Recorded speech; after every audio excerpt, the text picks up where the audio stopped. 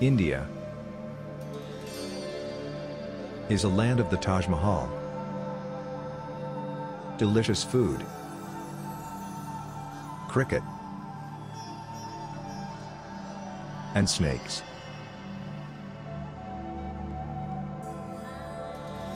Over 300 species of snakes are found in India.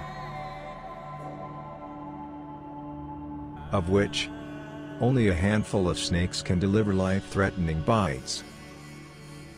Yet, over 58,000 Indians die from snakebite every year. And three times that number probably suffer life-altering injuries. Snakebite is a rural phenomena. Farmers and laborers are at the highest risk of getting bitten by a venomous snake. Working in a field,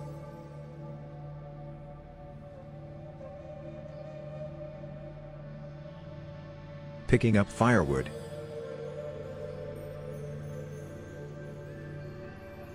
walking at night,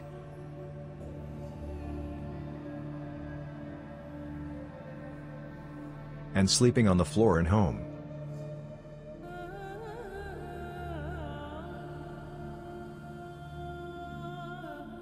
Such basic mundane tasks can be life-altering or life-ending. Four snake species are infamous for causing the majority of deaths and disabilities in India. These are the big four snakes.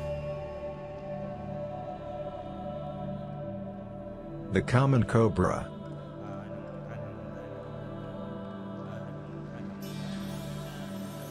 Russell's viper. Common krait. And the saw-scaled viper. Together constitute India's big four snakes.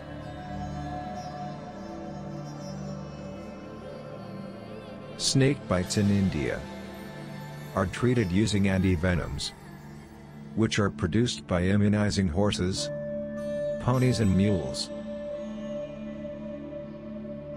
Venoms, used in the manufacture of antivenoms, are collected from the big four snakes in the southernmost part of the country. They are sourced from a single district, in the state of Tamil Nadu. Recent research, in the Evolutionary Venomics Lab, at the Center for Ecological Sciences, Indian Institute of Science, has highlighted significant differences in big four snake venoms, across India. As a result of this natural variation in venom, antivenoms, prepared from the big four snakes in Tamil Nadu, become ineffective, for the treatment of snakebite, in the rest of the country.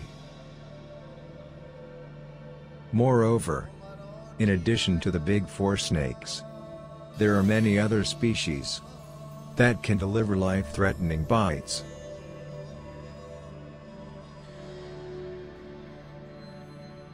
Unfortunately, antidotes are not manufactured for treating bites from these neglected snake species and the clinicians, are forced to rely on the big four anti-venom. Therefore, there is a pressing need to develop pan-India effective antivenoms that are not only effective for treating bites from the big four species, but also from the other snakes, that cause numerous deaths and disabilities in India.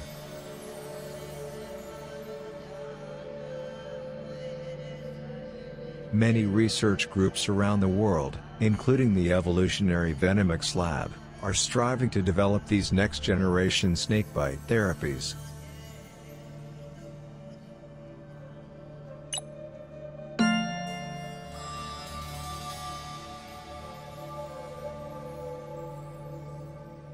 Stay tuned, to learn more about, the science behind the development of India's next-generation, antivenoms.